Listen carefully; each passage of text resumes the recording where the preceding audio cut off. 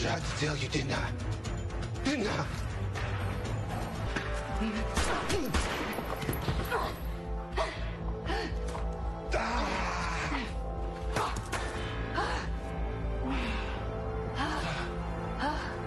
All right, Oval fans, quick video here because uh, just a handful of people I've seen mention this in the comment section of the uh, video I did, just going over, you know, what was Lilly thinking, and also in the finale review itself. I still stand by what I say. The finale wasn't perfect, but it was definitely one of the best episodes of the season. What did I give it, like a 9 or an 8 out of 10? I know that seems ridiculously high, but at the same time, I feel like that the season was so bad that when an episode even is average, it seems like a 10 out of 10 to me. But some people have been theorizing that Lilly could be dreaming about the events that happened towards the cliffhanger ending of the episode where she, you know, uh, quote unquote snuck into Donald's house and, you know, raided the safe and then Donald walked in and, you know, she held him at gunpoint to get his car keys before she got shot in, I believe, like the upper torso shoulder, shoulder area.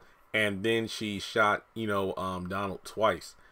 Is it a dream? No, I don't think it's a dream. I feel like it's one of those situations where um, we've seen Lilly destabilizing ever since she was tortured. Now, I it is completely reasonable. I mean, she's been drinking a lot, and you know we've been hearing about her rash behavior and everything. Well, we've been seeing her rash behavior and her just becoming unraveled more and more every episode.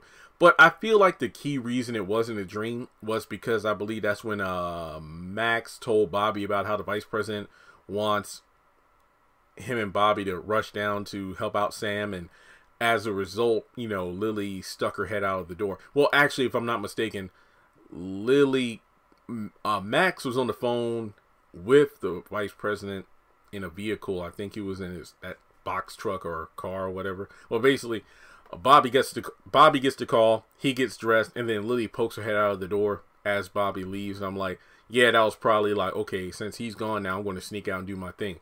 And look, Lilly looked fine as hell. I'm not saying she's never unattractive, but I feel like because I had become, well, we in general have become so accustomed to seeing her in those uh, fuzzy slippers and bathrobe and wet hair for like well over a month in our time in the show. Uh, to see her dressed up again was just like, wow, okay. Mm. But too bad she's going to have blood stains on that outfit now. No, I don't think she was dreaming. I feel like uh, it wouldn't work. I mean, don't get me wrong. Tyler Perry has done the dream thing as a cliffhanger before. Look at what they did in Sistas Season 3 with Gary coming out of the bathroom of the hotel and it turned out it was a dream. But I didn't care about that because the real cliffhanger was um, Fatima having Hayden beaten up. But yeah, I feel like Lilly did this by her damn self. Keep in mind, Lilly has not not been the most rational character for a bulk of the series.